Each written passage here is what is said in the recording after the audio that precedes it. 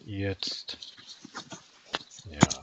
ja, herzlich willkommen auch den vielen Gästen wieder für unseren dritten Working Out Loud Circle.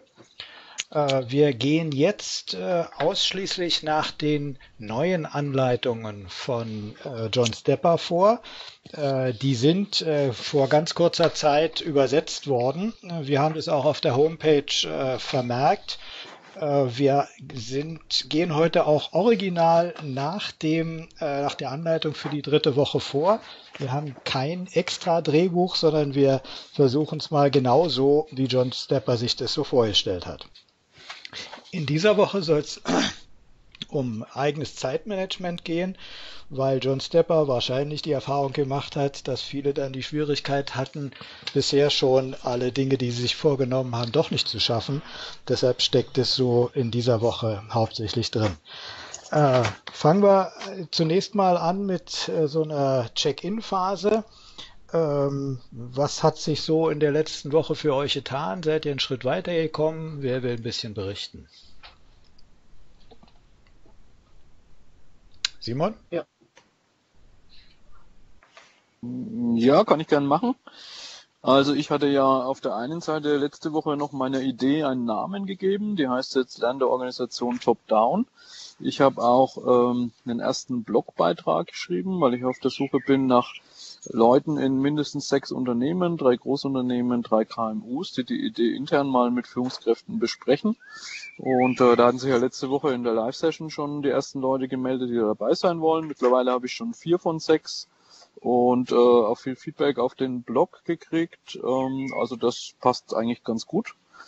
Ähm, so in Richtung Zeitmanagement ist natürlich immer so eine Sache, dass so strategische Themen mal was auszuarbeiten, da hat man eigentlich nie Zeit dafür. Und ich finde, so ein WOL-Circle ist ähm, eine ganz gute Gelegenheit, Dinge, die man schon lange auf der Man müsste mal Liste hat, einfach dann auch mal anzupacken. Mhm. Ja. Antje, was bei dir so passiert? Äh, an sich einerseits eine ganze Menge, andererseits vielleicht dann doch nicht so viel. Äh, was das Schöne war, ich habe ja dann festgestellt, dass ich ja dann auch mit euch reden kann. Das war mir vorher gar nicht klar. Das hat ja dann Harald irgendwie initiiert, äh, weil er gesagt hat, dass er sich mit mir unterhalten will. Also äh, Simon, dich würde ich nämlich deshalb auch gerne nochmal sprechen. Also mit Harald und mit Winfried habe ich schon mal gesprochen. Das war auch so ganz hilfreich. Dann habe ich mich ja intensiv mit Twitter beschäftigt. Insofern dass ich ja das letzte Mal schon gesagt habe, ob das wirklich mein Medium ist, wage ich ein bisschen zu bezweifeln, weil ich geübt habe und festgestellt habe, zum Beispiel bei dieser einen Live-Session, die ihr letzten Dienstag hattet, habe ich dann mal versucht, so an die Seite nur, das war jetzt gar nicht im, im Rahmen von Twitter, sondern an die Seite der Kommentare bei, bei Skype äh, Business. Und da war, als ich meinen Kommentar geschrieben habe, wart ihr schon drei Themen weiter. Und das habe ich gemerkt, das ist bei mir einfach das ist so schnell. Das geht mir, es ist ein unglaublich schnelles Medium.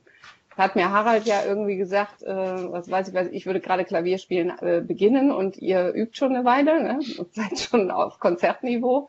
Äh, das beruhigt mich dann nur einerseits, aber ähm, vielleicht ist es eben auch eher so dieses ähm, überhaupt so ein bisschen mehr nach außen zu gehen mit dem, was ich wirklich mache. Und vielleicht ist es auch eine andere Frage, vielleicht doch mal einen Blog zu schreiben oder mal irgendwie zumindest auf Facebook mal etwas ausführlicher etwas zu beschreiben. Aber was ich mir vorgenommen hatte, war definitiv, ähm, dass meine Homepage endlich online geht. Die hat zwar noch so ein paar Macken, aber äh, ist jetzt zumindest die neue Homepage ist da, so dass man überhaupt mal sehen kann, was ich überhaupt wirklich äh, mache. Das sah man ja direkt nicht vorher. Und insofern bin ich, was das betrifft, ganz äh, zufrieden. So. Mhm. Harald? Ja, mhm. ja ähm, ich hatte eine sehr bewegte Woche äh, hinter mir oder bin noch immer drin oder so. Ähm, ich habe mir ein paar Ziele äh, für die, also kurzfristige Ziele genommen, intern äh, in der Firma mit Leuten zu sprechen. Das habe ich auch gemacht, das hat funktioniert das Gespräch äh, mit Antje, äh, das ich auch gesucht habe, natürlich zum Thema Führungskräfte und, und Lernen. Ich habe es jetzt nicht ganz speziell anrufen müssen, weil Antje mich ja angerufen hat und konnte da so meine Fragen ganz äh, unterschwellig mit einfließen lassen. Und also wir hatten ganz, ganz tollen Austausch, finde ich, der, äh, der mir da schon ganz viel weitergeholfen hat. Also auch danke an der Stelle nochmal dafür. Äh, manchmal kann man sowas auch einfach in einem Gespräch dann äh, in, im Dialog klären. Also dann ist es kein so ein, du, ich habe da mal eine Frage, kannst du mal? Ähm, war irgendwie spannend, weil ich war im Zug und irgendwann hatte dann äh, so einen Sitz weiter vorne jemand gesagt, ob ich hier einen Führungskräftelehrgang äh, Ich sagte, nee, ich, und dann wurde ich dann auch relativ schnell still wieder. war spannend. Nee, also das habe ich irgendwo äh, hingekriegt. Ähm, ähm, ich habe ähm, die Frage in mein Netzwerk posten ja mal äh, anfänglich schon gemacht. Das ist allerdings ein bisschen eingeschlafen. Also da kamen erst gute Antworten und dann habe ich es aber nicht mehr weiterverfolgen können. Also wenn man da selber nicht dran bleibt, ähm, dann ist sowas natürlich auch ganz schnell, wie Antje sagt, äh, wieder weg. Also das ist, ähm, das braucht einen Treiber und wenn man selber in, in so vielen anderen Themen drin ist, dann ähm, kann sowas natürlich schnell verlaufen. Ja, und in dieser Woche bist du ja ganz intensiv in dem Corporate Learning 2025 Mugathon eingespannt. Äh, spannend. Insofern volles Verständnis dafür. Ja, mir geht's ähnlich. Ähm, ich habe eine ganz schöne Erfahrung gemacht. Ich hatte ja beim letzten Mal ein paar Namen genannt und dann hat mich der Herwig Kummer angesprochen und gesagt, hey, du hast mich ja als Supporter genannt. Äh, wie kann ich dir helfen? Also äh, allein schon nur, dass wir hier im Zirkel drüber geredet haben, hat ausgelöst, dass er sofort äh, Interesse hatte, äh, da mit mir drüber den Dialog zu führen. Cool. Äh, wir haben das angefangen. Ich habe dann aber äh, nichts mehr weiter gemacht, eben genau aus dem Grund, weil ich jetzt für mindestens zehn Tage ausfalle. Äh, und es ist ab Mittwoch so, ich muss ins Krankenhaus und äh, kann da überhaupt nicht online sein. Und deshalb macht es jetzt keinen Sinn, äh, auch dieses Netzwerk zu befragen, denn wenn da Leute antworten, muss man auch da sein, muss man auch zur Verfügung stehen. Denn zehn Tage später zu antworten, hat keinen Sinn mehr, da erinnert sich keiner mehr dran. Ja, insofern, mich treibt, treibt im Moment einerseits äh, der Mugathon. Das ist doch wieder mehr Arbeit, als äh, ich es mir vorgestellt habe, denn wir haben die Erfahrung zwar, aber trotzdem, man, äh, wir haben diesmal auch technisch eine andere Situation, so dass mich das auch noch ein bisschen fordert. Und das Zweite ist, wenn man so zehn Tage weg ist, muss man so einiges vorbereiten. Und insofern bin ich im Moment ein bisschen zerknirscht, dass ich gar nicht viel gemacht habe. Ja, ich glaube, damit sind wir mit diesem ersten Punkt schon mal durch. Äh, John Stepper sagt, als zweite Übung redet er davon, bezahle dich zuerst. Vielleicht äh, kannst du da ein bisschen was zu sagen. Es geht hier nicht um das Bezahlen, es geht hier darum, belohne dich und äh, setze praktisch die Zeit für dich selbst zuerst ein. So habe ich es verstanden, Harald. Vielleicht kannst du das noch ein bisschen mhm. erklären? Soll ich, ähm, soll ich da ein bisschen mehr, dass ihr das inzwischen in der Zwischenzeit die Aufgabe schon machen könnt? Oder? Genau, ich glaube, ihr anderen ja. habt die Aufgabe gelesen. Wir brauchen, äh, dann kann er erklären und wir können schon ein bisschen arbeiten. Einverstanden? Mhm, ja. Mhm.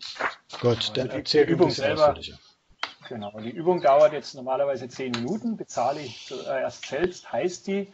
Und äh, das basiert eigentlich aus einer Erfahrung heraus, ähm, dass wir sehr schnell uns Ziele setzen und an diesen Zielen arbeiten ähm, und äh, quasi in so einen Arbeitsmodus kommen, aber weder Erfolge feiern, also dass wir irgendwo jetzt äh, haben ein gewisses Level erreicht ähm, und uns dann entweder selber, also selber feiern, das klingt in Deutschland schon ganz komisch, ähm, äh, noch, dass irgendjemand anders uns dann oft äh, sagt, ja toll, dass du das geschafft hast. Diese Art von Feedback sind wir in Deutschland ganz wenig gewohnt.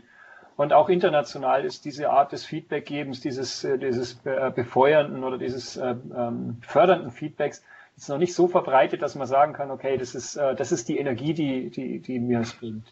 Er geht jetzt noch einen Schritt weiter und sagt, okay, bevor wir von irgendjemand anders jetzt erwarten, dass, dass das wertgeschätzt wird oder überhaupt gesehen wird, äh, sollten wir doch das selber vielleicht mal mit einbauen in das Ganze. Also mit einbauen heißt zum Beispiel, wenn man sich, was mag ich denn besonders gern oder wo, worin bestärkt mich denn ein, ein Ergebnis, ähm, das quasi einzubauen. Das kann sein, äh, zum einen, dass man sich etwas gönnt. Und gönnen ist in der heutigen Zeit zum Beispiel die Zeit für etwas zu gönnen. Das heißt, wenn man sich als Ziel nimmt, äh, irgendwie Sport zu machen oder irgendwie mal ein bestimmtes Thema ausführlicher zu machen, dann ist das Erste, was ja fehlt, die Zeit.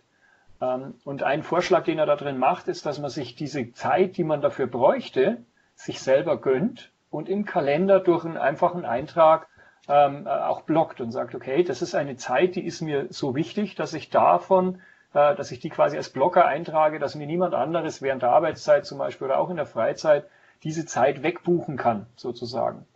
Ähm, das sind so ganz kleine Sachen manchmal.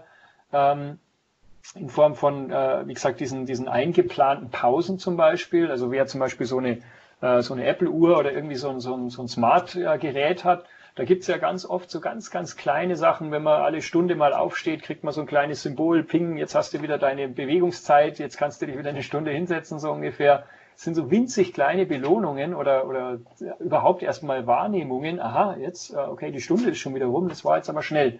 Man bewegt sich drei, vier Mal und kriegt dann ein gutes Gefühl, aha, jetzt, jetzt gibt's wieder auf der Uhr so ein kleines Bing oder ein Smiley oder sowas. Und er sagt mir dann, okay, also ich habe jetzt wieder zumindest meinen Kreislauf mal so weit bewegt, dass das funktioniert. Ähm, wir können uns selber natürlich aussuchen, äh, wie weit wir uns da selber wertschätzen wollen bei sowas. Das kann wirklich sein, dass man sagt, okay, für den Sport brauche ich eine Stunde und äh, was ich mir gönne, ist von mir aus danach nochmal zehn Minuten Saunagang, wenn das dort zum Beispiel funktioniert. Dann würde man normalerweise, würde man den Sport rennen, würde den Sport machen und dann schnell wieder heim oder sowas, duschen, fertig aber zu sagen, nee, das, der Sport ist eigentlich die Aufgabe und um mich für, der, für diese Aufgabe zu belohnen, äh, mache ich danach noch einen Saunagang oder setze mich noch mit jemandem hin oder sowas und habe noch ein kurzes Gespräch. Diese extra Zeit, die ist noch mit drin. Die bewirkt dann, dass man beim nächsten Mal, wenn man sagt, okay, oh, jetzt müsste ich aber wieder Sport, jetzt müsste ich wieder an dem und dem arbeiten, dass man sagt, naja gut, aber dahinterher ist ja was, was eigentlich ganz schön ist, weil man ja nicht immer gerne solche selbstdisziplinierten Sachen äh, mit einer Selbstverständlichkeit macht. Also solche kleinen Belohnungen können sehr, sehr unterschiedlich sein. Am einfachsten ist es natürlich mit einer Zeit, die man sich blockt. Ähm, wenn man nach dem Sport dann eine riese Eisbombe isst, weiß ich nicht, ob das dann die ideale Belohnung ist. Wobei es nicht schlecht ist. ist nicht schlecht, nee. Aber es sollte halt irgendwie im Verhältnis wahrscheinlich auch zu dem sein, ähm, John Stepper sagt selber immer, ähm, acht kleine Schritte, da kommen wir später in diesem Circle dann auch nochmal dazu. Und genauso ist es auch mit diesen Belohnungen. Also wenn, wenn ich so viel Aufwand so stark belohne, ist es natürlich nichts. Wenn ich aber eine, eine, eine relevante äh, Sache mache, die ich eigentlich vielleicht ungern tue und danach aber irgendwas nachstelle und mich selber damit belobe, das ist Selbstmanagement. Das ist einfach so, ich, ich kodiere das im Gehirn mit was Positivem, was ich da so tue. Ich glaube, das gibt es in ganz vielen Lernmethoden. Es ist jetzt nichts ganz Neues. Ähm, aber wir, wir vergessen es halt ganz oft. Und manchmal sind es ganz einfache Sachen. Mhm. Jetzt nicht zehn Minuten lang reden, aber äh, einfach um das Ganze so ein bisschen runter zu machen, ist, er hat da auch in seinen, in seinem ähm, Post oder in seinem, in seinen Circle Guides äh, verlinkt, da gibt es also einen, einen Blogpost, ähm, uh, The Most Successful Person in Babylon. Das wäre vielleicht auch ganz spannend. Äh, ich verlinke das mal schnell dann unten. Ähm, in, in, äh, in die Show Notes oder in, in, in Skype Call. Der kommt mhm. jetzt gleich hier. Nee, muss ich wieder vor. Nee. Doch, funktioniert. Ah, geht er? Ja. Weil bei mir, bei mir zumindest ist als Link. Mhm. Bei mir wird es als Link angezeigt, beide. Ja, okay, danke. Weil bei mir ist es immer noch nur reiner Text. Also das ist zweimal der gleiche Link jetzt hintereinander, sorry dafür. Aber das ist der Link, der jetzt quasi da äh, verknüpft ist übers Zeitmanagement das rentiert sich vielleicht mal auch nebenbei anzuschauen, dann kriegt man das auch in schöneren Worten gefasst als jetzt so Freitext. Mhm. Genau. Bezahle dich zuerst selbst ähm, ist im Endeffekt so der Überbegriff. Man tut Dinge gerne, wenn man auch selber sich und bei dem, was man da tut, wertschätzt. Mhm. Okay, ich glaube, wir sind soweit, Simon und Antje. Ja. Äh, ja. Harald, du hast noch gar nichts geschrieben, jetzt musst du irgendwie es nachholen. wir können ja schon mal anfangen, äh, darüber nachzudenken, wie, denn, wie wir denn mit Zeitmanagement umgehen. John Stepper sagt, äh, wir sollen uns mal kurz darüber verständigen, wie das bei uns wohl unterschiedlich so sein wird. Was gut funktioniert, was nicht und äh, wo man sich gegenseitig unterstützen kann. Ja. Zeit. Also dann fange ich. Ja. Soll ich anfangen? Ja. Ja. ja. Ähm, genau, also bei mir ist so, ähm, da gibt es so zwei Strömungen. Zum einen habe ich mal in meiner Studentenzeit noch irgendwo so einen Zeitmanagement-Kurs mitgemacht. Da hieß es, man soll nur 60 Prozent seiner Zeit verplanen, äh, 20 Prozent für Socializing übrig lassen und 20 Prozent für Ungeplantes. Ähm, das versuche ich erstmal zu praktizieren, weil einfach, wenn man 100 Prozent verplant, man feststellt, da kommt so viel noch rein, was man dann überhaupt nicht sinnvoll ähm, mehr bearbeiten kann. Äh, und das Zweite, was ich lange schon praktiziere, ist ähm, Getting Things Done von David Allen. Das ist so eine Selbstmanagement-Methode für Wissensarbeiter, die davon ausgeht, dass wir einfach ein sehr einen sehr unsteuerbaren Arbeitsablauf haben. Also wir kriegen irgendwie Aufgaben aus, ähm, aus Meetings, es ruft jemand an, jemand schickt was per Twitter-Message äh, und das muss man irgendwie alles ordnen, weil David Allen sagt, das größte Problem ist, wenn man das alles in seinem Kopf mit rumträgt äh, und ständig so das Gefühl hat, quasi ähm, eine lange Liste vor sich herzuschieben und die eigentlich nie angepackt zu bekommen. Und da gibt's eben so eine ganz kleine und leicht zu verstehende Infografik, wie man mit solchen Dingen, die ihr erstmal nur Stuff nennt, äh, umgeht, wie man die für sich sortiert, äh, welche Art von Listen man führt, woraus man Projekte macht, wie man seine Ablage strukturiert, also so ganz operative Dinge. Und ähm, da gibt's eben unter anderem bei Sachen, wo man so denkt, das könnte ich mal machen, aber ähm, ich weiß noch nicht genau wann, gibt's die sogenannte Someday Maybe Liste. Also das ist so dieses, was ich irgendwann mal äh, vielleicht mache. Äh, und das war jetzt eigentlich für mich so mit der größte Belohnungseffekt, Dinge, die ich da lange schon äh, drauf habe, nämlich jetzt genau diese Idee mal auszuarbeiten, einfach von der Someday Maybe äh, Liste runterzunehmen und auf die Next Actions, beziehungsweise halt in die Projektliste zu schieben und zu sagen, jetzt die nächsten zwölf Wochen ähm, packe ich das genau an und mache da mal was. Und das merkt man auch sofort, dass das quasi im Hinterkopf was tut. Ne? Also so dieses jetzt endlich mal ein Ding anzugehen, wo man lange schon sagt, das ist eigentlich super wichtig, aber man sich nie die Zeit dafür genommen hat. Mhm. Mhm. Antje, hast du Strategien? Ja, also ähm, gut, jetzt ist bei mir natürlich so ein bisschen ähm, aktuell eben der Punkt, dass ich so in einer allgemeinen Neupositionierung war, in einer Geschäftsverbindung jetzt gerade reingehe, wo ich dann auch teilweise abhängig bin von anderen, äh, wie sich Dinge ergeben. Und mal ganz nebenbei, ich habe es am ersten Tag gesagt, ich ja gerade aktuell Hunde-Oma bin von sechs Welpen. Also wirklich an dem Punkt oh. ist im Moment, also wer kleine Kinder hatte äh, und hat, äh, kann sich dran erinnern, wie schrecklich es war, so fremdbestimmt zu sein. Also man kriegt ganz viel Liebe, aber man kriegt unglaublich viel Stress. Also da merke ich gerade, wie gerade mein System ein bisschen durcheinander kommt, weil ich unentwegt reagieren muss. Was ich aber mache, ich bin zum Beispiel jemand, ich habe das ja schon öfter erwähnt, ich habe noch die Schwimmbrille im Gesicht, weil ich meistens gerade vom Schwimmen komme. Ich bin Sommerschwimmer, also ich gehe vom 1. Mai bis 15. September möglichst täglich schwimmen. Ich könnte auch Schwimmbadtester sein, weil ich in Deutschland verschiedene Schwimmbäder, Freibäder kenne. Äh, und das habe ich damals vor zehn Jahren angefangen, weil ich Sport an sich, ähm, also außer Schwimmen irgendwie nichts mag und aber Schwimmen eigentlich auch doof fand, irgendwie mit diesem Umziehen. Und dann habe ich mir damals ein Mottoziel gesetzt. Äh, wenn ihr Maja Storch kennt und Züricher Ressourcenmodell, ich hatte dann irgendwie vor zwölf Jahren, glaube ich, mal einen Kurs dazu gemacht und habe dann gedacht, dann mache ich das und habe mir ein Mottoziel gesetzt und das heißt, ich gönne mir eine Stunde Urlaub am Tag.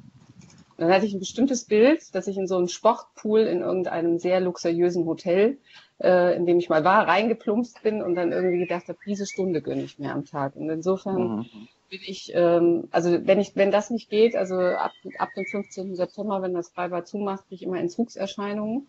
Und ich merke, das ist für mich total wichtig, weil dieses Schwimmen ist auch nicht, ich mache das nicht auf Leistung, sondern dieses Blubbern, dieses meditative Unterwasser, blub, blub, blub, blub, blub, blub. Und äh, John Webb, ein Schüler von Richard Nelson Bowles, nachdem ich ja arbeite, der hat mal irgendwie gesagt, auch wenn du nicht mehr weiterkommst, get wet, mach dich nass. Also einfach in irgendeiner Weise. Und ich merke das immer wieder, dass ich das, äh, ist einfach so neben Natur äh, das, was für, für mich wichtig ist. Und das mit Natur, ich meine, wir haben halt zwei Hunde. Und wenn ich zu Hause bin, was natürlich selten ist, dann gehe ich natürlich morgens auch richtig früh los äh, in den Wald und tank erstmal Frischluft und wunderschöne Bilder, um mich dann eben hinzusetzen. Aber ähm, es ist eben selbstständig sein, auch ständig noch auf andere Situationen und Aufträge zu reagieren, ist eben doch teilweise, wird man stark ausge, äh, ja, immer wieder abgelenkt. Ja, und ganz nebenbei habe ich immer noch zwei Kinder, also die dann auch immer zwischendurch noch gerade dann reinkommen, wenn du sie nicht gebrauchen kannst, weil ich ja da bin und die dann froh sind, dass sie mal da sind. Also ich könnte das, äh, genau, hier hat schon Harald Züricher Ressourcenmodell hingeschrieben, super. Äh, das kann ich wirklich nur empfehlen. Aber der Spruch, ja. den werde ich mir merken. Wenn du mal nicht weiter weißt, dann mach dich nass. Das muss ich mal probieren. Ja. okay, Harald. Welche ja, das passt, das passt hervorragend. Wir diskutieren gerade, wie, wie, migrieren wir unsere Mails vom einen ins andere System und, und während alle reden, habe ich gesagt, okay, also es ist so eine Zero-E-Mail-Migration äh, in der Idee, also dass man gar nichts migriert. Und ich bin vor zwei Wochen dann einfach hergegangen und habe meine komplette Mailbox archiviert, alles weg und habe quasi am Montag in der Früh von null angefangen. Äh, und glaubt mir, ich hatte danach sehr, sehr gute Argumente gegen eine Zero-Mailbox-Migration. also ich mache genau das, also ohne jetzt das Modell zu kennen, aber äh, wenn ich mir nicht sicher bin, ob irgendwas Auswirkungen hat oder sowas, dann schmeiße ich mich selber mit allem, was ich habe, in diese Situation, ähm, äh, die ich jemandem anderen dann antun werde. Und bei uns geht es ja um 140.000 Leute, die dann darunter leiden. Also von daher, wenn es mir nicht gefällt, dann gibt es wahrscheinlich noch zwei, drei andere, die das auch blöd finden. Mhm. Mhm. Ja, ja. Genau. ja. ich habe hab, ja. Also, Entschuldigung, also ganz kurz, für mich ist Zeitmanagement ist gleich Aufgabenmanagement. Also ich, für mich sind es, sind es zwei Sachen, die unweigerlich zusammenkommen. Der Simon hat ja relativ schnell dann auf Getting Things Done auch äh, referenziert. Das würde ich auch so unterschreiben. Bin halt so ein Kanban-Fan irgendwo. Ähm, ich habe äh, 1995 angefangen, alles, was ich äh, mit einem Zeitstempel tun muss, in den Kalender zu pflegen. Also ob das jetzt zum Beispiel irgendwelche äh, Pässe sind, die ablaufen, ob das irgendwelcher TÜV oder sonst, egal was es ist, was ich als Aufgabe habe, ob das ein Datum hat oder wenn es keins hat, dann gebe ich immer Datum. Ähm, also dann steht es in meinem Kalender drin, weil dann weiß ich nämlich genau, wann ich es machen muss und wann ich es machen kann. Und ich weiß auch, wann ich etwas nicht tun kann, weil da gerade schon was im Kalender steht. Mhm. Wenn man eine Aufgabenliste getrennt vom Kalender führt, dann ist das immer so eine Sache ähm, mit den Fälligkeitsdaten. Also das, äh, darum habe ich mich eher für den Kalender entschieden. Ähm, ich habe natürlich auch irgendwo eine Aufgabenliste, die, die wandert im Moment aber immer mehr in, in, in OneNote rein weil da ist dann mehr Content drin, Erklärungen und Links und so weiter. Und der Kalender ist wirklich im Endeffekt fast so eine, eine zeitorientierte Aufgabenliste inzwischen. Und es funktioniert eigentlich relativ gut, weil dann weiß ich auch in der Früh, muss ich nur einen Ort aufmachen und ich weiß genau, ähm, wie viel von den 100 Prozent ich schon wieder verplant habe, bevor der Tag losgeht. Mhm, mh. ähm, ich habe ähm, nur eine Frage, die ich mir da immer wieder stelle. Die ist jetzt aber eher so eine persönliche Frage von mir. Meine, mein, meine Zeitmanagement und Aufgabenmanagement funktioniert für normale Themen, also Dinge, die man einfach so tut, in der Regel eigentlich relativ gut. Weil das ist einfach nur eine Disziplinfrage. Will nicht sagen, dass ich der, der meistdisziplinierte Mensch bin oder sowas, aber das klappt irgendwie ganz gut. Nur Themen, wo ich mich so auf meiner Mission fühle, ähm, da fliegen mir alle möglichen Sachen zu und ich sage fast immer Ja dazu, weil das einfach so, ah, das ist doch cool und das könnte man doch auch noch und hier, also da, das bringt mein ganzes Planungsding durcheinander. Darum bin ich auch jetzt da einerseits im MOOC und hier bei WOL und hier noch drei Projekte und noch zwei private Projekte.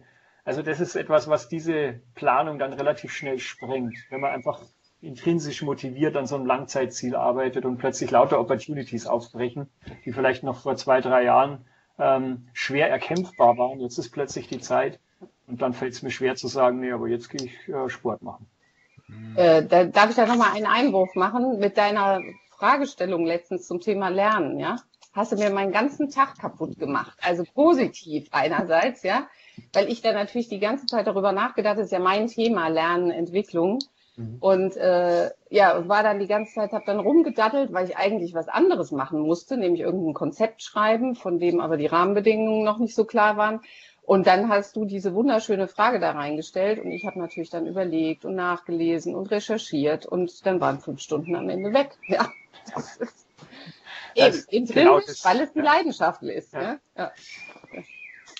Ja, also was du ansprichst, Harald, äh, und jetzt eben du, äh, Antje, äh, ich habe so den Eindruck, wir versteifen uns gerade in den Unternehmen ein bisschen zu sehr auf konkrete äh, Ziele und konkrete Planung ähm, wir wissen oftmals gar nicht, was wir wirklich konkret anstreben sollten. Also mir geht es immer mehr darum, sozusagen, wir müssen die große Richtung kennen und äh, dann schon mal loslaufen und unterwegs äh, begegnen uns so viel Dinge, die uns entweder schneller machen oder äh, im Moment noch ein bisschen mehr nachdenken lassen, so dass ich denke, wir sollten äh, uns Zeiträume vornehmen, nicht einen konkreten Tag, sondern einen Zeitraum, wann es fertig sein soll. Oder wir sollten uns äh, auch konkret, äh, also nicht so ganz konkret das Ziel vornehmen, sondern sagen, okay, ich will in dem und dem Bereich äh, einen Schritt nach vorne kommen, aber wie der Schritt nun ganz genau aussieht, weiß ich noch nicht. Ich glaube, das ist gerade heute wichtig. Und mir geht es öfter so, dass ich äh, abends denke, eigentlich gestern hast du noch was ganz anderes machen wollen, aber doch zufrieden bin mit nachdem, wie der Tag jetzt trotzdem gelaufen ist. Ne? Also äh, so im Sinne von, äh, hey, da sind Dinge aufgetaucht, die ich mir gar nicht habe vorstellen können. Aber noch ein, noch eine ganz äh, pragmatische Sache, die ich jetzt seit Jahren pflege. Ich habe es äh, probiert, meine Aufgaben auch äh, in Outlook in die Aufgaben zu schreiben und so. Aber das, was wirklich immer funktioniert, das mache ich jetzt, ich schreibe mir die Aufgaben, die jetzt so in den nächsten Tagen dran sind, immer mit einem Füller schön sauber äh, auf einen Zettel. Und dieser Zettel wird jeden Morgen neu geschrieben. Und wenn man die gleiche Aufgabe zum dritten Mal schreibt, dann nervt einen das so, dass man sie jetzt angeht und äh, sie dann erledigt. Also wie funktioniert... Das nicht belohne dich selbst, das ist ja bestrafe dich selbst, oder? Aber schon Nö. lustig, dass du in der digitalen ja. Welt sozusagen ja. noch den Füller rausholst. ja, genau. Also es muss auch mit Füller sein. Also es muss richtig schön geschrieben dastehen. Irgendwie. Auch eine Art der Belohnung. Ja, mag sein, mag sein. Okay. Also vielleicht, vielleicht, der eine Satz noch. Die Frau Schütze-Kleikamp hat auf der Republika so einen schönen Satz gesagt in ihrem Vortrag. Die hat gesagt, wir brauchen auch mal Zeit, um was sacken zu lassen. Mhm. Wer trägt sich denn ja. in seinen Kalender ein? Ich brauche hier mal eine Stunde, um was sacken zu lassen, um etwas mal, ja, äh, nicht, nicht produktiv was rauszuhauen, sondern einfach was mal äh, sacken lassen. Mhm. Punkt. Also Harald, da sagen wir ja nochmal zum Thema Lernen was und Veränderungen und Haltungsänderungen, ja. Das ist ja das, was mich am meisten aufregt bei Unternehmen. Dann sollst du irgendwas machen in Bezug auf, wo sich Haltung verändert und dann wird gesagt, äh, machen Sie einen Tageskurs draus. Wie, hm. wie soll denn das gehen? Ja, das kann überhaupt nicht gehen, weil das sind Prozesse, ja, formative Prozesse, wo die Leute sich entwickeln sollen. Ja, das spricht mir aus der Seele. Mhm. Also das ist vielleicht auch bei Getting Things Done nochmal so ein interessanter Punkt, weil äh, ein Aspekt, der da sehr gepredigt wird, ist das sogenannte Timeboxing, was mhm. vielleicht auch so als Erfahrung der eine oder andere macht, wenn er jetzt auf Twitter unterwegs ist. Ja, das ist was, ähm, was ich für sehr wichtig halte, wenn man zum Beispiel früh in seine Tweets schaut, das strikt zu timeboxen und zu sagen, wie viel Zeit gebe ich dem.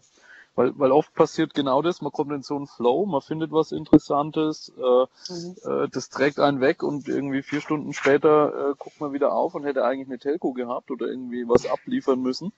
Äh, und war so im, im Fluss, was eigentlich was Gutes ist, weil das ja heißt, äh, weiß nicht, wer das Flow Genome Project kennt. Mhm. Die tragen so alles zusammen, was so in Richtung High Performance äh, von Individuen ist. Und da ist Flow was sehr Positives, aber natürlich nicht, wenn ich irgendwas äh, habe abliefern müssen.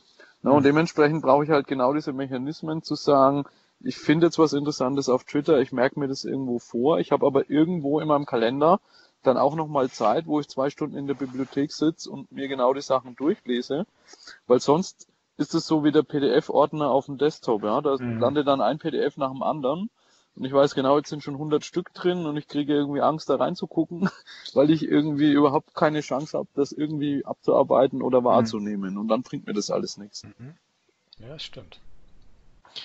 Okay, äh, jetzt gibt es die nächste Übung und die heißt existierende Netzwerke nutzen. Das heißt, wir müssen jetzt so ein bisschen mal nachschauen, wo könnte man eigentlich Netzwerke finden, die uns auf unserem Ziel weiterbringen könnten. Harald, wenn du wieder ein bisschen Erklärung dazu abgibst, dann arbeiten wir wieder. Alles klar. ähm, ja, also im Netz, im Netz geht es um Netzwerke natürlich, aber es ist nicht beschränkt. Also äh, John Stepper geht nicht ausschließlich drauf, dass das alles nur in der digitalen Welt natürlich funktionieren muss. Das heißt, es macht auch überhaupt, äh, also äh, es macht sehr viel Sinn, so muss ich anfangen, ähm, auch mal bestehende physische Netzwerke zu aktivieren. Also wenn es irgendwo Vereine gibt, wenn es irgendwo Organisationen vor Ort vielleicht gibt, da auch mal vorbeizugehen, sich sowas mal physikalisch anzuschauen ähm, ist natürlich im Netz äh, ohne den, den üblichen ähm, äh, Fahraufwand oder sowas möglich. Aber was sagt er? Also er sagt zum Beispiel, sucht euch Online-Communities, also Leute, die sich online sowieso schon treffen, entweder in der Arbeit, äh, über Communities, wenn es ein Enterprise Social Network gibt, oder eben in Foren oder entsprechende ähm, Gruppen äh, zu einem bestimmten Thema.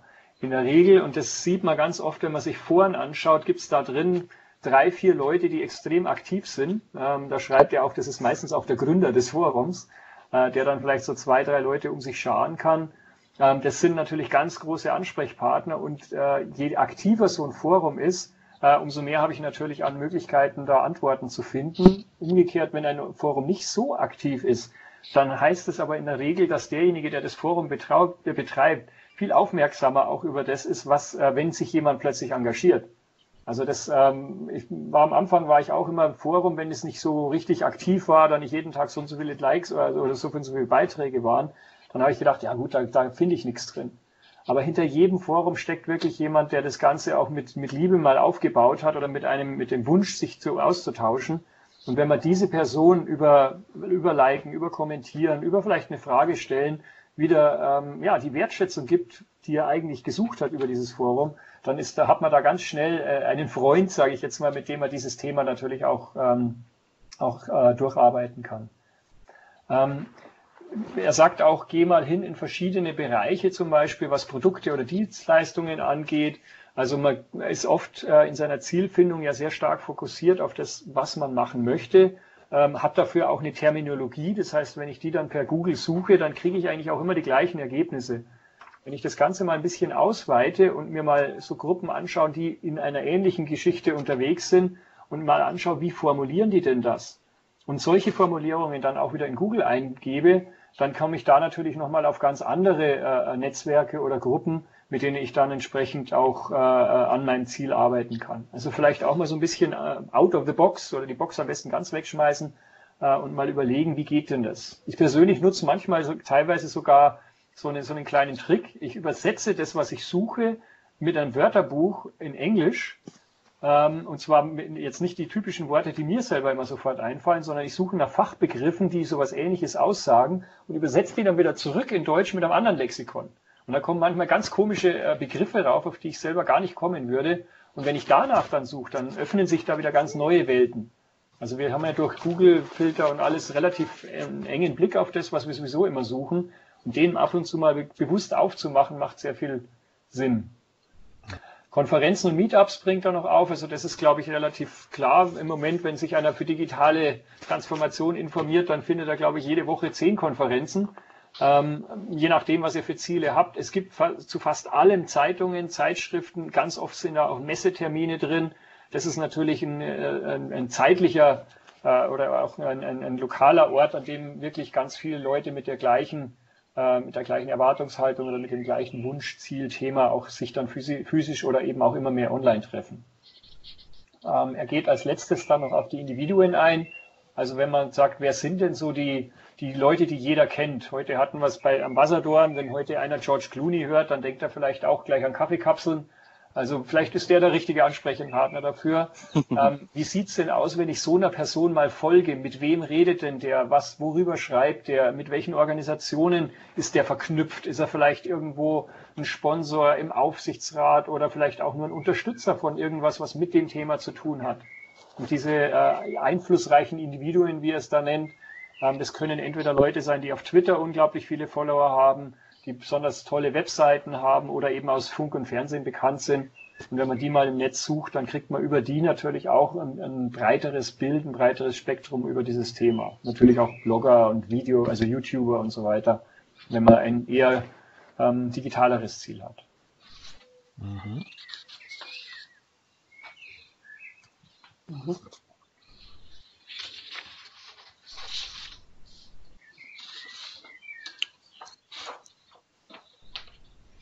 Also mir da sind da so einige eingefallen. Wie sieht es bei euch aus, Antje und Simon? Seid ihr soweit oder wollen wir noch ein bisschen warten? Nee, nee ich bin schon soweit, ja. Okay. Also, ja. Ich hatte das letzte Mal schon gesagt, äh, für mein Ziel jetzt quasi diese Idee mal zu drehen und zu wenden in Organisationen, will ich halt hauptsächlich mal verwenden die äh, Community einfach des Mukathons weil da sehr viele Leute sich jetzt mit diesem Thema, wie, wie ist Lernen zu positionieren für 2025 beschäftigen. Ähm, und was ich zusätzlich mal noch machen will, ist das Thema regionale Netzwerke. Ähm, weil das auch immer einfacher ist, wenn man sagt, man kann sich dann mal mit jemandem treffen und kann so eine komplexe Idee mal direkt besprechen. Das ist halt doch was anderes als äh, 140 Zeichen irgendwo hinzuschreiben. Äh, und da habe ich jetzt mal äh, ins Auge genommen weil es da von meiner Idee eine gewisse Brücke gibt zum äh, Thema Qualitätsmanagement. Die Deutsche Gesellschaft für Qualität äh, hat hier so einen Regionalkreis, wo sich jeden Monat irgendwie 50, 60 Leute treffen. Da gehe ich jetzt im nächsten Monat mal hin. Ähm, würde da auch anbieten, ähm, die Idee mal als, nachdem das ja auch was mit der neuen ISO 9001 Norm zu tun hat, mal als Vortrag vorzustellen. Ähm, vielleicht haben die da einen freien Vortragslot. Und was ähnliches nochmal mit dem Verein Deutsche Ingenieure. Da gibt's den, den Nordbayern-Chapter, die haben, glaube ich, auch 1600 Leute mit einem E-Mail-Verteiler. Und ähm, da will ich mal anfragen, ob man das nicht in dem äh, in einem der Newsletter mal äh, beschreiben kann und damit eben Leute bekommt, die so in äh, Lauffahrrad äh, 20 Minuten Autoreichweite sind. Mhm.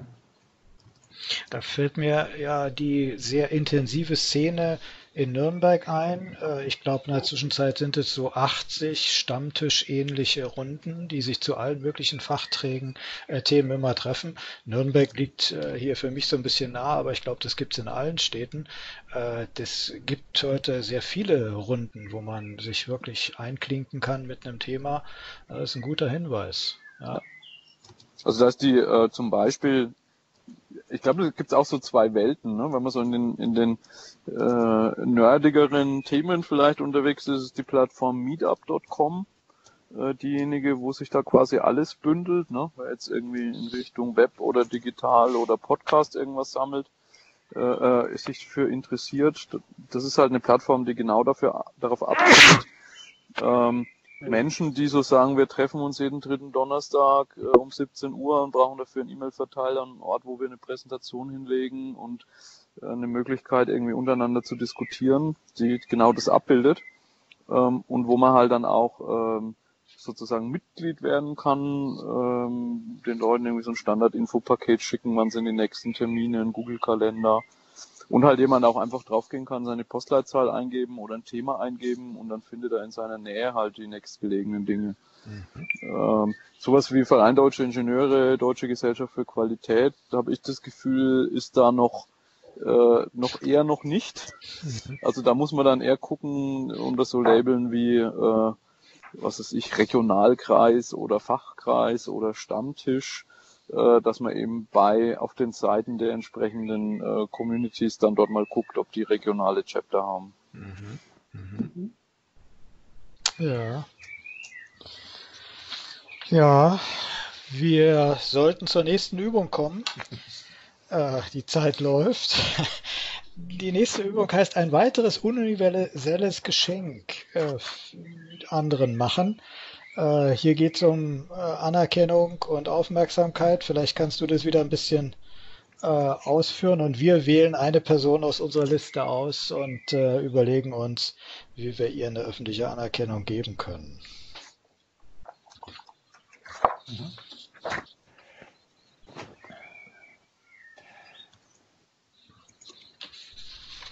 Ich habe nur schnell drüber geflogen nochmal, dass ich nichts äh, Falsches sage, weil wie gesagt, die, äh, die Circle Guides haben sich ja ein bisschen verändert, aber äh, vom Grundtenor hat sich da jetzt, äh, ist da jetzt, äh, geht es genau in die gleiche Richtung. Also das ist einfach nur sauber, also nicht sauberer, nicht, dass es für unsauber war. Es ist super ausgearbeitet jetzt, in einer tollen Übersetzung nochmal von den von den Kollegen von Bosch, von, äh, von äh, Katharina Krenz und ihrem Team. Ähm, es geht bei diesen universellen Geschenken, das ähm, ich, ich weiß nicht, ob man da mal einen besseren Begriff dafür findet. Das sind diese kleinen Gesten, hätte ich es jetzt mal genannt, ähm, die man an Leute in seinem Umfeld, an die Leute, für die man natürlich auch äh, ja, Wertschätzung zeigen will, ähm, zeigen kann. Ich habe das jetzt gerade mal gemacht, wer zufällig auf Twitter ist. Ich habe mich jetzt einfach mal ganz schnell zwischendrin ähm, bei drei Leuten bedankt, die in meinen Augen unglaublich aktiv die ganze Zeit schon hier so dabei sind. Ähm, und ähm, sind jetzt auch alle im Chat mit drin. Genau, das ist die Martina Pumpert zum Beispiel oder das ist ähm, der, der Magnus Rode und der Volkmar Lange. Die sind die ganze Zeit während dem MOOC und in allen Calls immer so dabei, so aktiv und so, ähm, ja, einerseits herzlich und auf der anderen Seite total ähm, hilfreich mit den Kommentaren. Matthias Wien zum Beispiel jetzt Gesundheit mal schnell geschrieben. Also das, was ich jetzt gerade mache im Endeffekt, das ähm, sollte uns eigentlich ganz locker von der Zunge gehen. Das sind genau diese kleinen Geschenke, von denen er redet. Also mal schnell jemandem Danke sagen, mal schnell zeigen, hey, das hat mir echt jetzt gerade geholfen, was du da gerade gesagt oder gemacht hast. Äh, einfach mal Gesundheit sagen. Ähm, das sind so, äh, ja, wie gesagt, kleine Gesten, die den, die, die Freundschaft erhalten könnte, hat man früher, glaube ich, gesagt, oder eben jetzt im Netz äh, in der Zeit, wo wir ganz stark darüber diskutieren, was da alles an Negativen äh, unterwegs ist, ähm, den Unterschied machen. Die Republika selber war ja unter dem Begriff Love Out Loud, also äh, lieben, lieben äh, laut lieben, jetzt gesagt, um einfach mal hier so ein positives Gegengewicht da, da, da, zu senden. Schau mal, ja, da ist ganz viel Mist drin und auch in unserer, in unserer physikalischen Welt, in der physischen Welt ist auch ganz, ganz viel äh, Gewalt und Terror und alles Mögliche. Aber es ist eben auf der anderen Seite auch ganz viel Positives und das ist was, was jeder selber machen kann. Es ist im Treppenhaus des Guten Morgen, sogar in der großen Stadt. Ich erinnere mich da immer an diesen äh, Crocodile Dundee Film. Ich weiß nicht, ob der das ja, noch ja, kennt.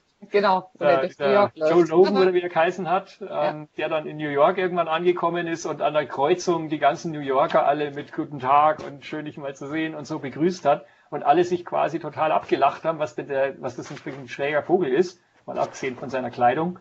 Aber der hat einfach das, was er als höflich bezeichnet hat, auch mal in einer großen Stadt gemacht. Und es ist ganz spannend, da zu sehen, wie die Leute darauf reagieren. Also jetzt das nicht ohne Erwartungshaltung, sondern einfach mal sagen, ja, guten Morgen oder Grüß Gott oder Servus oder ähm, ja, schön, dass ich dich mal wieder sehe. Das sind die ganz kle kleinen Geschenke, die einem eigentlich ganz leicht von der Lippe gehen sollten. Und ähm, ja, ich glaube, um die geht's ganz speziell.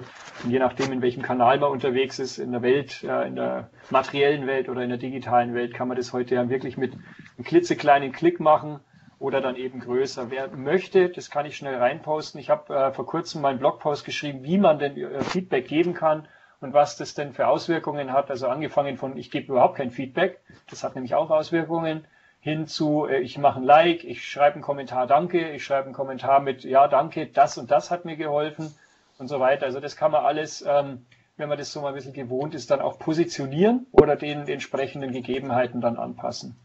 Äh, hier ist der Link drin nochmal, wie man wertschätzend vielleicht auch Feedback geben kann. Sowohl in als auch extern im Netz, in sozialen Netzwerken. Mhm.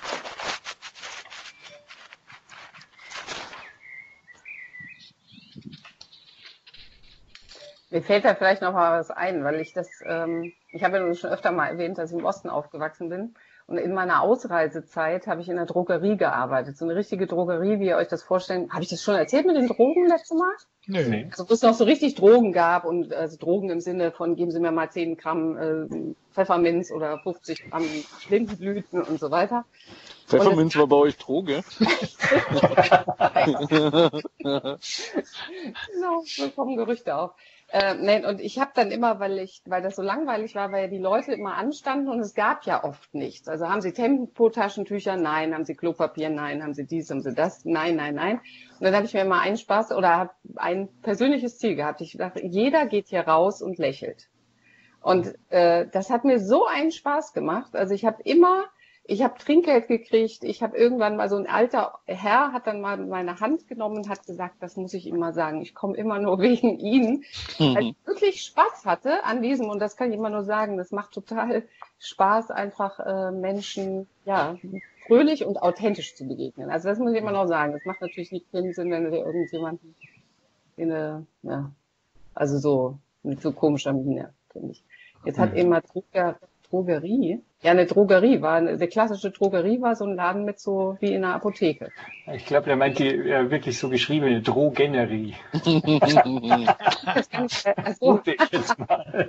also, also ich weiß nicht, ob das, äh, ob das nicht Teil deines Programms ist, äh, Antje, aber du hast mir auf der Zugfahrt so eine wunderschöne Möglichkeit auch gezeigt, wie man auch einen Unterschied, einen ein bisschen nachhaltigeren machen kann, indem man das Ganze einfach wirklich physikalisch macht in einer Zeit, wo äh, eigentlich alles nur noch digital geht, denn mit den Karten. Was ja. kannst du da einen Satz dazu sagen? Ja, genau. Also, also ich arbeite ja ähnlich schon und wir machen eben, also ich bin ja der, ursprünglich mal bei Menschen, unterstütze Menschen dabei, wie sie beruflich weiterkommen und wie sie Netzwerke dann knüpfen, wenn sie sich beruflich eben äh, orientieren wollen. Dann sprechen sie mit Menschen, die das Gleiche machen, was sie auch tun wollen.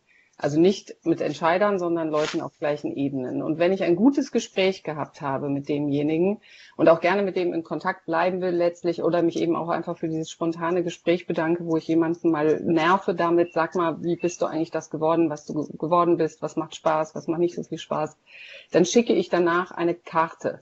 Und das ist so viel wirksamer, weil es einfach, also ich erlebe das auch, oder wenn ich manchmal Referenzen äh, benutze, dass dann wirklich jahrelang diese Karten, die möglichst stehen müssen, das muss ich jetzt vielleicht nochmal sagen, also nicht so eine normale Postkarte, sondern eine, die man so hinstellen kann. Ich verrate jetzt mal den ganzen Trick, genau, der geht, die steckt man in einen Umschlag und ähm, der nicht unbedingt weiß ist und der auch nicht dem normalen Format eines Briefes entspricht. Also sprich kein Langdien. Langdien ist nämlich Rechnung und äh, die großen Formate sind äh, Verträge. Und man schickt das in so einem klassischen Format, wie man vielleicht eine Hochzeitskarte irgendwie verschicken würde. Ihr kennt dieses, also etwas quadratischere oder etwas andere Format. Und dann bedankt man sich ehrlich eben für dieses Gespräch mit kurzen Worten. Sehr geehrte Frau Müller oder war toll, dass wir kurz miteinander reden konnten.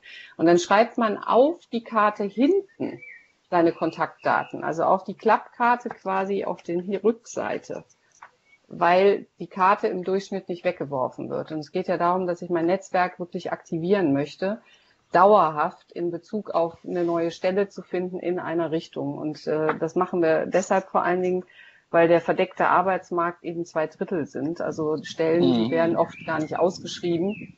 Und wenn sie ausgeschrieben werden oder wer was mitkriegt, wenn Stellen frei sind, dann sind das die Mitarbeiter, weil die als erstes gefragt werden. Ja. Also es ist unheimlich wirksam und ich kann immer sagen, auch wenn ich es jetzt verrate, letztlich ist der Witz, wenn ich solche Karten heute kriege, dann denke ich immer, auch schön, jemand kennt das System, toll. Und es, man freut sich trotzdem. Es ist was anderes, eben Karl-Heinz mit dem Füller geschrieben, eine schöne Karte mit dem Füller geschrieben zu kriegen, als irgendeine Mail. Mhm. Das hat einen höheren äh, Effekt. Es hat auch gerade der, ähm, der Markus hat die Kudo-Cards aus Management 3.0 äh, in den Chat gepostet. Das ist genau sowas. Kudos sind ja auch so kleine Dankeschöns. Mhm. Äh, und mich hat es erinnert an eine Funktion, die Xing früher mal hatte und die leider sehr viel Enterprise Social Networks nicht haben, nämlich am Profil öffentlich einsehbare Gästebücher. Mhm. Ähm, weil dort wurde das ganz oft gemacht, dass wenn man jetzt so intern Projekte abgeschlossen hat oder so, dass man äh, Leute darauf hingewiesen hat, ähm, wer hat denn besonders gut dir geholfen im Projekt, mit wem hast du gut zusammengearbeitet und dann nutze dieses Gästebuch, um da eben ein Dankeschön zu hinterlassen. Also bei LinkedIn gibt es noch, ne? das sind es die Recommendations. Mhm. Also das ja. ist auch eine ganz tolle Möglichkeit, jemandem mal kurzes Dankeschön zu sagen für eine Konferenz, Gespräch mhm. oder einfach für eine Beteiligung irgendwo. Ja. Oder, oder ähm, ähm, die, die, die Kompetenzen zu bestätigen auf LinkedIn. Auch eine ganz tolle Möglichkeit, mhm. Danke zu sagen. Wir haben intern unseren Führungskräften zum Beispiel wirklich dann so kleine Lernaufgaben auch gegeben und habe gesagt, okay, damit du das mal lernst, kriegst du jetzt als Vorgabe oder als, als ähm, quasi als Lernziel jede Woche mindestens ein Kommentar und fünf Likes. Also wir haben da ganz, ganz langsam angefangen. Und die hatten als Ziel, müssen fünf Likes vergeben und einen Kommentar schreiben. Und wenn man das dann einfach mal einen Monat lang gemacht hat, dann ist das irgendwann mhm. eine ganz normale Geschichte, dass man was liked. Weil dann lernt man automatisch auch, okay, was like ich denn? Also all das wird eigentlich schon getriggert dadurch durch die kleine Aufgabe, sag doch fünfmal Danke. Mhm. In der Woche. Also einmal pro Tag. Ja, gute Idee. Oh, die kannst du ja auch noch als Aufgabe in den Mugathon einbringen. ich glaube, das hilft auch einigen. mhm.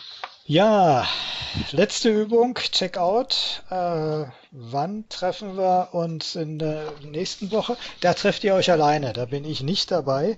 Ich glaube, wir haben wieder Montag festgelegt für nächste Woche, ne? Mhm. Ja.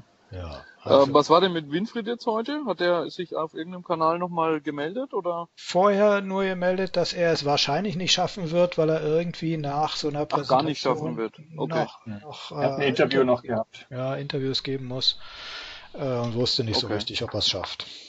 Alles klar. Ich dachte, der kommt nur später. Okay. Ja, nee, der hat ja, erhofft, aber naja. Der wird nächstes Mal aber sicher dabei sein. Ähm, dann nächste Woche trefft ihr euch wieder. Was nehmt ihr euch für die kommende Woche vor? Ist letzter Punkt hier. Ja, also ich habe, ähm, wie gesagt, ich habe jetzt von den sechs Firmen, mit denen ich die Idee gern testen würde, ähm, drei habe ich. Audi ist dabei, BMW ist dabei, ZF ist dabei und der Markus Metz von den Stadtwerken München.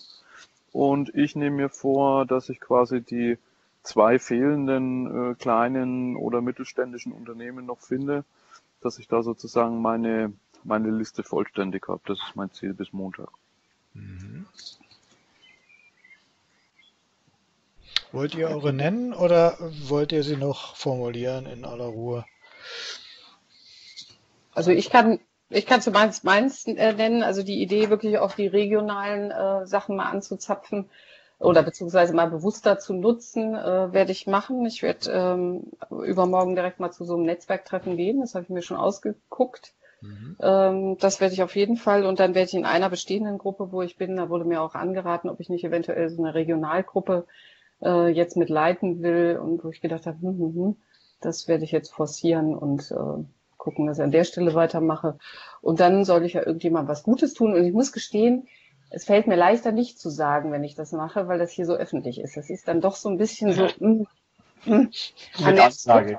außerdem kann ich mir dann noch aussuchen, für wen ich was mache. Und mit Simon wollte ich auf jeden Fall noch mal sprechen. Simon, siehst du mich noch? Hörst du mich noch? Ja, ja, ja, ja, ja. Ja, vielleicht können wir uns mal verabreden, äh, mal ein halbes Stündchen oder so. Weil, ja, wann würde das passen bei dir? Äh, egal. Ich habe nur Donnerstag, Freitag, Freitag, Samstag habe ich Training. Äh, schick mir einfach ein, zwei Vorschläge und dann antworte ich. Alles klar. Kannst du die Woche noch?